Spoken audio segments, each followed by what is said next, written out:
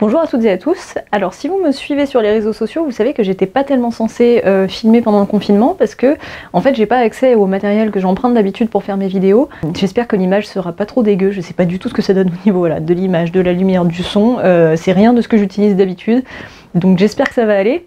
Aujourd'hui, je vais faire une vidéo spéciale Mois du Macabre. Vous avez peut-être vu euh, que l'idée vient de la chaîne Toa House. Euh, ma collègue Laura Fejor a fait aussi une vidéo sur ce sujet. Et Az l'épouvantail a fait un live aussi euh, sur le Mois du Macabre il y a quelques jours. Le but de, cette espèce de challenge, c'est de répondre à 31 questions sur le cinéma d'horreur, à raison de une question par jour normalement, mais bon, bah, je vais faire comme mes collègues et je vais faire une vidéo qui regroupe toutes les questions. Alors le premier film d'horreur que j'ai vu c'était La Mouche de David Cronenberg. Je devais avoir 5 ou 6 ans, euh, on était euh, dans le salon euh, chez ma grand-mère. J'avais pas envie d'avoir l'air d'une flippette, mais au bout d'un moment je suis quand même allée voir mes parents en disant excusez-moi est-ce qu'on peut arrêter la cassette? C'est La chute de la maison Usher de Jean Epstein, réalisé en 1928. C'est une adaptation de cette nouvelle d'Edgar Poe que j'aime tellement, La chute de la maison Usher. Sauf que c'est une adaptation qui mixe en fait deux histoires d'Edgar Poe, à savoir euh, La chute de la maison Usher et Le portrait ovale. Et en fait, euh, ça ôte euh, ce qui est le plus intéressant, je trouve, à l'histoire et au propos de la chute de la maison Usher, ce qui est assez dommage. Après, le film, il est très très beau, hein. des images absolument magnifiques, une très belle mise en scène. C'est un très beau film, c'est juste que au niveau vraiment de l'adaptation, c'est un peu mieux faire.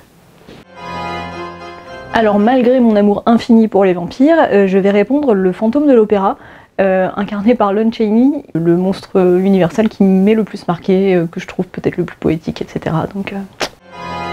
je vais citer sans trop hésiter Insidious avec euh, ce magnifique accent. J'ai beaucoup aimé le premier, en tout cas, vraiment, ça a été une très très bonne surprise au cinéma, assez rock'n'roll, euh, avec une esthétique de train fantôme très bienvenue, euh, et même le 3 qui est peut-être un peu en dessous, avec des scènes un peu cucul la praline, etc. Il a quand même, il a quand même des scènes qui, enfin, qui me font encore vraiment flipper. Par contre, le 4, on n'en parle pas, hein, ça c'est poubelle tout de suite. Pour cette question, la tentation est très grande de citer le Dracula de Coppola. Euh, évidemment, mais euh, je le réserve pour une autre question parce qu'en fait, le truc avec le Dracula de Coppola, c'est que je pourrais le citer pour quasiment toutes les questions. Hein. Euh, du coup, ça n'aurait pas beaucoup d'intérêt. J'essaie de répéter le moins possible deux fois le même film, histoire de vous donner un panel plus grand. Je vais dire le Nosferatu de Werner Herzog. Quand je l'ai vu avec mon frère, je me souviens, il avait dit un truc que je trouve très vrai. Il avait dit que c'est vraiment un film qui, qui, avait une esthétique de cauchemar, qui donnait l'impression, enfin, qui donnait vraiment le sentiment qu'on a quand on est dans un cauchemar dont on pas à se réveiller. À la fois euh, hyper euh, euh, morbide, angoissant, en même temps beau. Funny Games US. voilà, pour ceux qui ne savent pas, Funny Games US, c'est un remake de Funny Games tout court. par le même réalisateur, par Anneke, qui a refait son film en fait plan par plan. Je suis toujours un peu en interrogation sur cette démarche, mais toujours est-il que bah, le résultat est que le, film, le remake est quand même très bon. Je vais citer L'Orphelinat, qui est peut-être, je pense, le film qui m'a fait le plus peur D'ailleurs, la dernière fois que je l'ai vu, euh, je l'ai vu avec des amis qui se reconnaîtront, dont une qui se reconnaîtra particulièrement, qui est adorable, hein, mais qui a parlé tout au long du film, mais vraiment de la première seconde à la dernière seconde. Je, n'en pouvais plus, j'avais envie de me jeter par la fenêtre. Même dans ces conditions, euh, le soir même, j'étais j'étais de nouveau terrifiée, vraiment.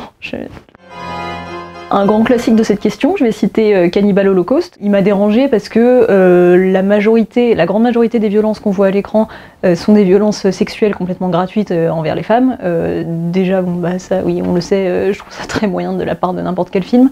et en plus, il, il, met en scène des mises à mort d'animaux. En fait, on y voit des animaux torturés et mis à mort, mais qui l'ont vraiment été en fait au moment du tournage. Je trouverais ça jamais pardonnable de faire du mal à un animal au nom de l'art ou pour le plaisir de choquer le spectateur parce que ça nous fait marrer ou que sais-je. Euh, je me répète tout le temps, mais les films de Roger Corman euh, qui adaptent les œuvres d'Edgar Poe. Il y a certains de ces films que j'aime beaucoup, je trouve qu'ils présentent une vision très intéressante de l'œuvre de Poe. Mais euh, je suis toujours à la recherche de, de l'adaptation parfaite d'Edgar Poe, je pense qu'elle n'existe pas encore, je ne sais pas si elle existera un jour. Alors je vais citer la scène d'ouverture d'It Follows, euh, que je trouve absolument virtuose dans sa mise en scène. Alors c'est vrai qu'on n'y voit pas tout à fait la mort du personnage, on voit l'avant, on voit l'après, euh, on voit pas vraiment le moment de la mort, et pourtant elle est tellement angoissante, euh, vraiment, je, je, me souviens au cinéma j'étais vraiment scotchée. C'est pas très original, je vais citer Tim Burton, euh, parce que même si j'adhère beaucoup moins à ce qu'il fait euh, depuis 2005, il a fait euh, les films qui m'ont donné envie de faire du cinéma, qui m'ont fait aimer le cinéma tout court, qui ont construit mon univers, etc. voilà, j'ai un attachement sentimental sans borne pour certains de ses films, donc je ne pouvais pas ne pas le citer sur cette question. Sadako de Ring, est quand même un concept de personnage à la fois très simple et en même temps terrible dans son efficacité très très effrayant. Je me souviens que voilà, c'est un personnage qui m'a donné beaucoup de nuits blanches quand j'étais petite. Même, même si j'aime bien Ring, voilà, je trouve que le personnage est encore plus fort que le film. Je vais citer la bande-son de James Newton Howard pour le film Le Village de Shyamalan. C'est voilà, une musique très très belle de par sa mélodie. Les violons, c'est un instrument qui peut être soit très chaleureux, soit très anxiogène, et là je trouve qu'on a un équilibre parfait entre ces deux aspects justement. Beetlejuice, Beetlejuice, Beetlejuice. Je vais citer Le Dernier Train pour Busan, euh, j'ai rien à ajouter, c'est un film de zombies excellent. Pour cette question, évidemment, je vais rester cohérente avec ce que j'ai fait par le passé. Je cite bien évidemment Neve Campbell dans Scream, pour toutes les raisons que j'ai évoquées dans ma vidéo sur Sidney Prescott la séquence de la tronçonneuse dans American Psycho, euh, qui est une, séquence très très réussie, je trouve, qui est mi-horrifique, mi-comique. Euh, l'action est très bien amenée, donc euh, notre réflexe c'est de vraiment croire à ce qui se passe, et en même temps, petit à petit, on se dit, bon, cette fille, elle hurle dans un immeuble qui est censé être habité par plein de gens, en plein centre-ville. Il y a un type à poil couvert de sang avec une tronçonneuse qui la poursuit. il lâche cette tronçonneuse du haut de l'escalier, puis ça tombe pile. Enfin bon, met très bien en scène cette ambiguïté du film, à savoir est-ce que Patrick Bateman commet réellement ses meurtres ou est-ce que ça se passe dans sa tête? Justine dans Grave de Julia Ducournau, qui est brillamment interprétée par euh, Garance Marillier. C'est un film que j'adore. J'espère un jour euh, peut-être faire une vidéo dessus, donc euh, je développerai à ce moment-là. Je gardais Dracula de Coppola pour cette question parce que vraiment, je peux pas commencer à développer mon propos sur ce film, sur Dracula, parce que ça n'en finirait pas, j'en ai pour des années. mais vraiment, j'aime tellement ce film d'amour. voilà, c'est gothique, c'est baroque, c'est tout ce qu'on aime. Je, je vais citer Sixième Sens de Shyamalan. Alors déjà pour euh, le twist, il est euh, extrêmement bien amené, il est euh, à la fois angoissant et émouvant. À la fin, on a une scène entre la mère jouée par Tony Collette et le petit garçon. Cette scène, elle est, moi, elle me fait, elle me fait pleurer à chaque fois. Elle est, elle est tellement émouvante. Je vais dire dans les autres, la mamie qui fait du spiritisme. Super peur, super peur. Avec l'orphelinat, les autres, c'est vraiment le film qui m'a fait le plus peur. Euh, Rebecca, euh, le roman de Daphné du Maurier, très bien mis en scène par Alfred Hitchcock. Euh, voilà, j'ai déjà fait une vidéo dessus. Il y en a plein des pires suites. je vais choisir Sinister 2. voilà, le premier Sinister, malgré quelques clichés, etc., je trouve que c'est quand même un film qui a des, scènes, mais d'une flip absolue. le, deuxième, bon, c'est une insulte au premier. bon, bah là, je vais me répéter, je vais dire Scream. C'est pareil, hein, pour toutes les raisons dont je parle dans ma vidéo, là, je me vois pas en citer un autre. Je suis vraiment pas euh, une pro des films de loup-garou, j'ai le sentiment d'en connaître assez peu, donc je vais citer euh, Le loup-garou de Londres. Le premier Terminator, voilà, euh, je trouve que c'est un chef-d'œuvre de A à Z. Depuis que je suis gamine, j'adore ce film. Peut-être que vous me direz que c'est trop science-fiction, pas assez horreur, je sais pas, mais bon, c'est une bonne occasion pour moi de citer ce film. J'adore. Je vais citer Carrie de Brian De Palma. pour cette dernière séquence, je vais pas spoiler, mais vraiment la séquence entre la mère et la fille à la fin, je le trouve pas excellent en tout point de vue, mais euh, globalement euh, très bon et en grande partie grâce à cette séquence que je trouve euh, magistrale. Celle de Shining, les gamines de Shining, je peux pas ne pas les citer.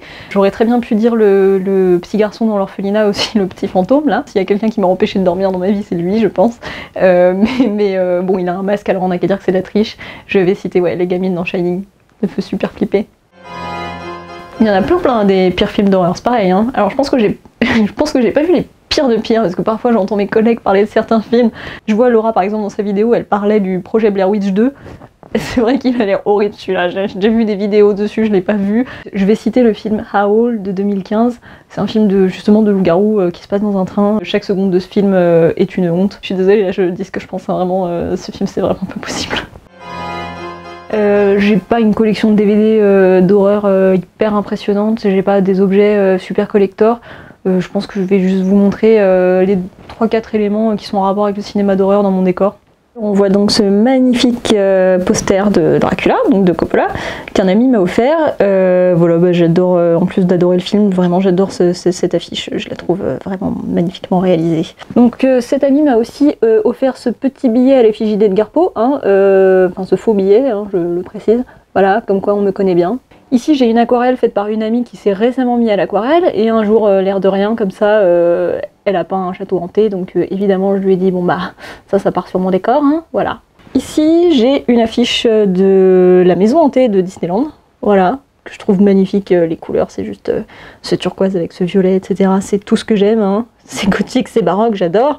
Euh, voilà, c'est un ami qui me l'a offert, qui était chef opérateur sur l'un de mes courts-métrages. Ici, on a une carte postale du Third Eye Film Festival, qui est un festival euh, new-yorkais indépendant. C'est un tout petit festival euh, de films d'horreur réalisés majoritairement par des femmes. c'est, la sélection est mixte, mais il met quand même en avant le, travail des femmes. J'ai eu la chance d'y présenter deux courts-métrages à moi, deux années de suite. voilà, super festival tenu à bout de bras par euh, deux jeunes femmes qui font vraiment une super sélection. Alors euh, le festival est tout petit, euh, vraiment c'est la, salle est toute petite, etc. Mais la sélection est vraiment de, grande qualité. Enfin je dis pas dis pas ça parce que mes films y sont passés. Je, vous encourage si jamais vous êtes réalisateur de courts métrages d'horreur et surtout si vous êtes réalisatrice, n'hésitez pas à leur proposer votre film. Ici j'ai donc une affiche de Twixt de Francis Ford Coppola, qui est un film que j'adore. Alors je ne connais que des gens qui n'ont pas du tout aimé ce film, qui le trouvent ridicule. Euh, moi, je suis extrêmement sensible à sa poésie. C'est un film qui, à la fois, qui réussit à être euh, très beau esthétiquement parlant, mais aussi euh, complètement dans le second degré, tout en étant tragique, poétique, émouvant. on est dans le too much, hein, mais en même temps tellement bien fait que ça en devient magnifique. Voilà, moi, c'est l'un de mes chéris. J'en profite d'en parler ici parce que j'ai pas pu le citer dans la vidéo. Quel est mon film d'horreur préféré?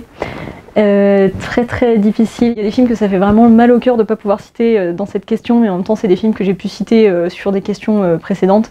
Donc là, du coup, je vais parler de Sleepy Hollow. voilà, j'ai pas pu en parler plus tôt dans cette vidéo, donc voilà, je réserve cette petite question. Sleepy Hollow, j'adore.